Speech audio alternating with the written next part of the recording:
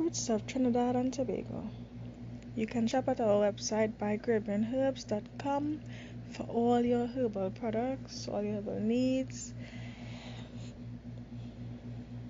Presenting 12 manner of fruits.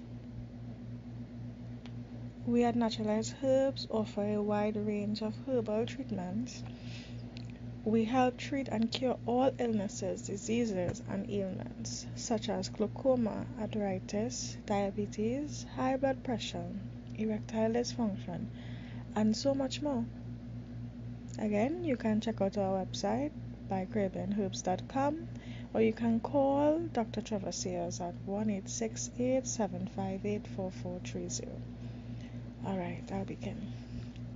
Padu the benefits of Padu uh, would be muscle health, natural diet menu, high cholesterol treatment, and so much more.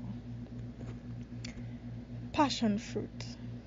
The benefits of that would be that it provides key nutrients, rich in antioxidants, good source of fiber, low glycemic index, improve insulin sensitivity, boost the immune system, and so much more. Tamarind, or as we know it, Tambran. It benefits of that would be tissue health, brain health, bone health, cancer risk reduction.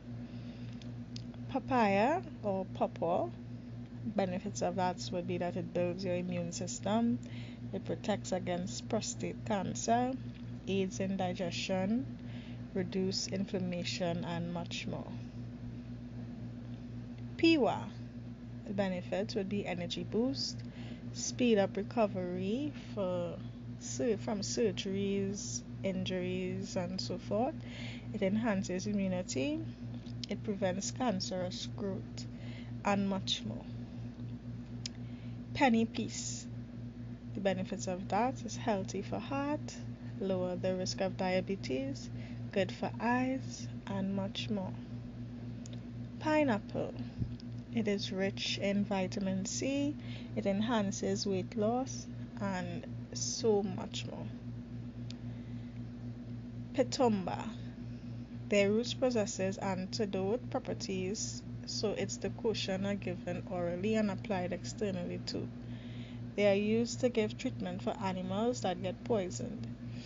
The fruit, when combined with annatto fruit and the peel of the acai fruit, is used to treat disease such as jaundice. Plum.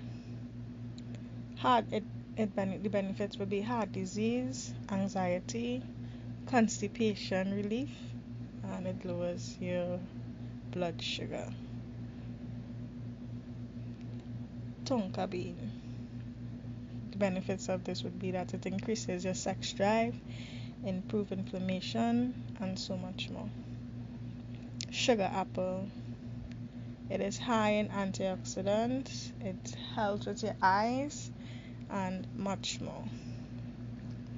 Rambutan, the benefits of that would be that it lowers risk of cancer, it aids with digestive health, it builds your immune health, and much more. A lot of people talking about if they should take the vaccine or they shouldn't take the vaccine. That is not the problem, you know. There is a virus that will infect everybody. If you take the vaccine or you do not take the vaccine, you have to build the immunity in your body.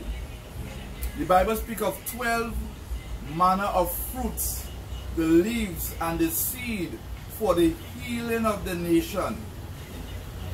And that's the only way you'll get away. It's a plague. It is an end time disaster.